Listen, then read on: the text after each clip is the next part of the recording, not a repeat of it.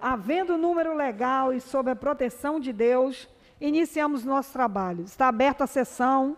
A presidência convida o senhor deputado Luiz Paulo para fazer a leitura da ata da sessão anterior. Senhora presidente, deputada Tia Ju, a ata reflete com exatidão o ocorrido na centésima quinquagésima oitava sessão extraordinária, que iniciada às 17 horas e 50 minutos, encerrou-se às 18 horas e 30 minutos. Lida e aprovada a ata, passa seu expediente inicial. Primeiro orador escrito é o nobre deputado Luiz Paulo. Vossa Excelência dispõe de 10 minutos no tempo regimental.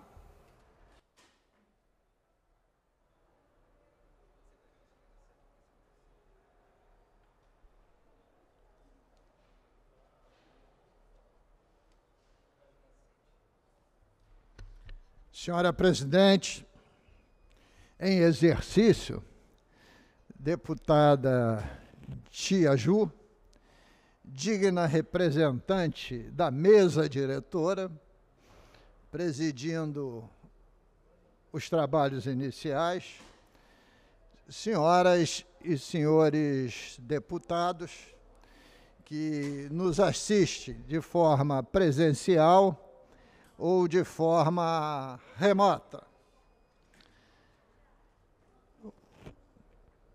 Deputada Tia Ju, hoje, às 10 horas da manhã, deputado André Siciliano se reuniu na sua sala, lá do Palácio Tiradentes, e convidou diversos representantes da sociedade civil da área da cultura.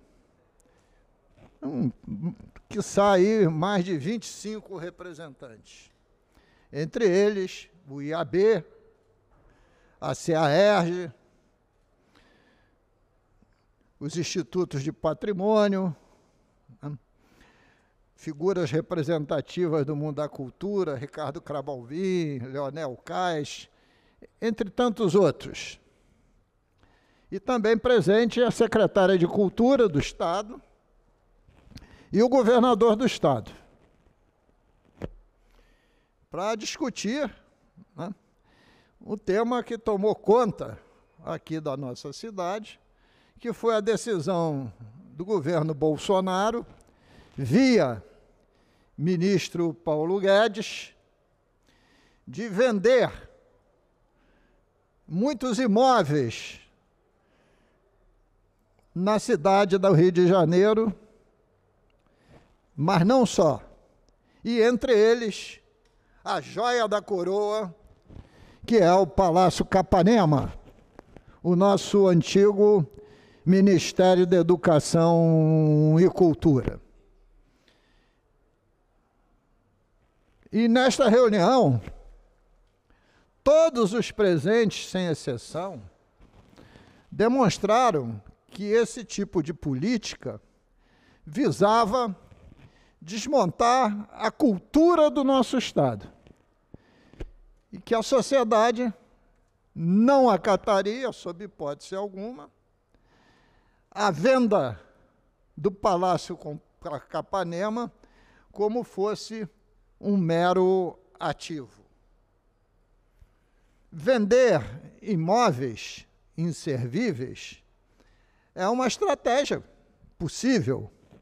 Agora, vender bens tombados que fazem parte da história da cidade, que o próprio governo vem investindo lentamente ao longo dos anos, 100 milhões de reais para fazer a recuperação dessa primeira primorosa obra arquitetônica, que teve a, supervisão de Le Corbusier, Lúcio Costa, Oscar Niemeyer, Jorge Moreira, Burle Marx. E justamente, senhora presidente, no ano que a cidade do Rio de Janeiro está abrigando o grande Congresso Internacional de Arquitetura, justamente nesse ano. Guardadas as devidas proporções, senhora presidente, era como o governo francês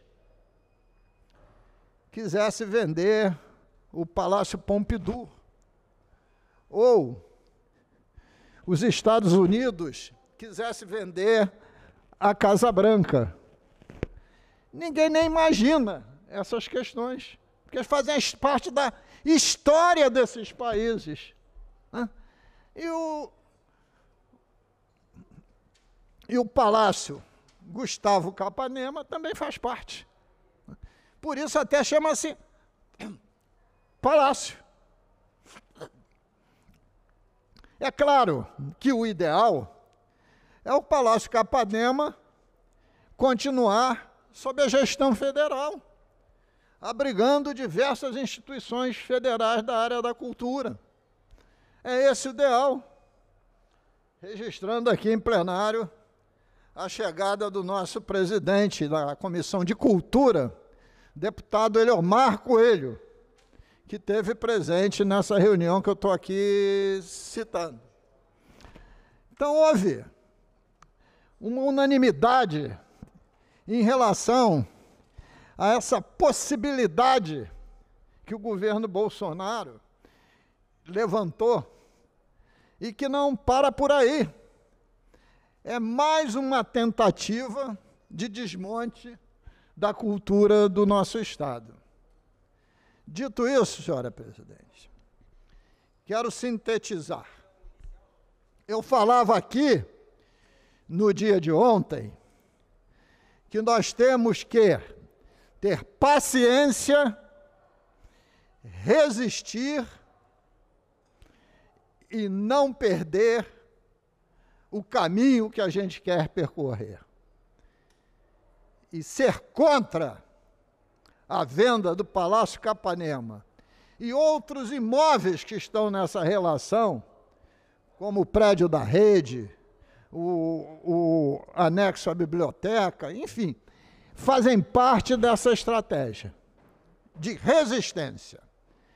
Porque para mudar a política de cultura do país, e aí faço questão de dizer, não, é essa, não foi esse o tema da discussão lá, mas para mudar a política de cultura desse país, só mudando o presidente.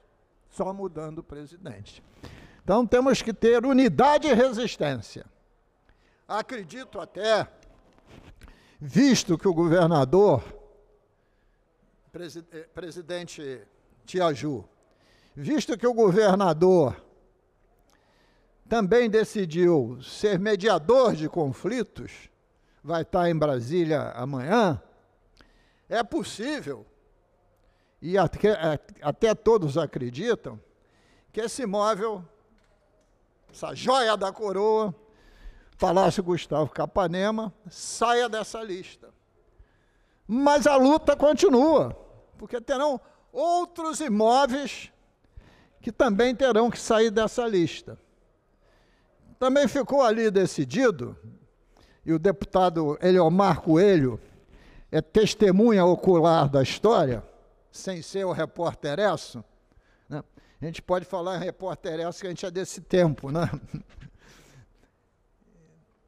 Também dali vai nascer uma comissão de, no mínimo, cinco, integrada pelo nosso presidente da Comissão de Cultura, deputado Eliomar Coelho, pela secretária de Cultura e por três representantes das entidades dessa luta pela preservação cultural dos nossos bens é, tombados e não tombados. Dito isso, fazendo essa síntese, senhora presidente, eu queria também dizer e o deputado Eliomar Coelho falará depois de mim, que o deputado Eliomar Coelho fez uma reunião ontem da Comissão de Cultura, com a presença, inclusive, de representante da Câmara de Vereadores. Eu, eu, eu quando saí, estava só o professor Tarcísio. Não sei se apareceu algum vereador a, a mais ontem. E hoje a vereadora Tainá estava presente, não é? Estava presente também. Para mostrar, lá na Comissão de Cultura, que a Comissão de Cultura estava dentro dessa luta. E o deputado Eliomar hoje está dando entrada numa representação ao Ministério Público contra esse ato de desatino que a União pretende ou pretendia fazer. Agora, para concluir, senhora presidente, nos meus dez minutos, eu queria dizer a Vossa Excelência que, independente de que saiamos né, vitoriosos nesse embate e o Palácio Gustavo Capanema saia dessa lista de imóveis que são, serão colocados à venda, somente o fato do Palácio Capanema entrar nessa lista já é uma agressão à sociedade fluminense e à sociedade carioca. Porque como é que um governo pode imaginar que vai negar a sua história, que começou aqui, sob ponto de vista dos tempos mais expressivos do nosso país, que começou aqui do lado do Palácio Tiradentes, na Praça 15, em 1808, com a chegada de Dom João VI. Essa história nossa passou pelo Brasil Império, Pedro I e Pedro II. Aliás, Pedro II que está sendo objeto de uma novela às 18 horas, Tempos do Imperador. E depois, pelo Brasil República. E nós éramos Distrito Federal. O tempo passou, viramos Estado da Guanabara. O tempo passou e viramos Estado do Rio de Janeiro. E o que o governo faz é um insulto à história brasileira. É um desrespeito ao Estado do Rio de Janeiro. É um desrespeito à cidade do Rio de Janeiro. E num, um presidente que se elegeu deputado federal diversas vezes com o voto do Estado do Rio de Janeiro. E o ministro da Economia, um Chicago's Boys, que realmente também se originou aqui do estado do Rio de Janeiro. É inadmissível o que está acontecendo.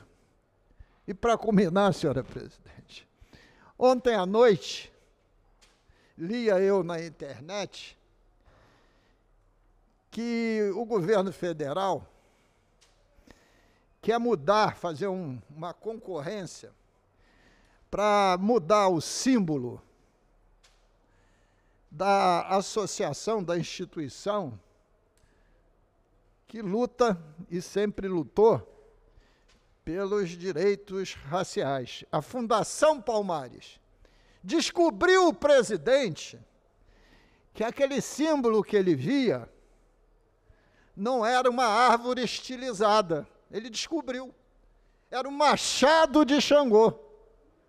E como a Fundação Palmares pode ter como símbolo o machado de Xangô? Então ele quer trocar. Tem que ter outro símbolo porque nega a cultura afro-brasileira. Por isso que é um desmonte cultural. Desmonte cultural.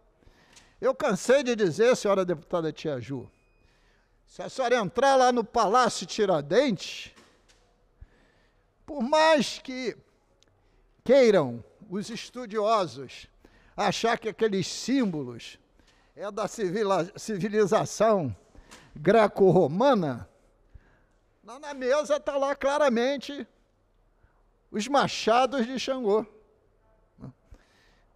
estilizados possivelmente né, pelos carpinteiros que trouxeram um pouco dessa cultura afro-histórica. Então, é um governo que desrespeita as nossas raízes, desrespeita tudo aquilo de patrimônio que o nosso Estado e o nosso país construiu. Então, queria dizer que a luta continua. E volto a dizer, temos que ter paciência, resistência e propósito. Muito obrigado, senhora presidente.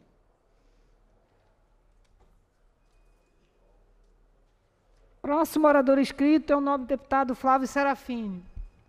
Não se fazendo presente e não havendo mais oradores inscritos, a presidência suspende os trabalhos até às 15 horas, quando retornaremos com a ordem do dia.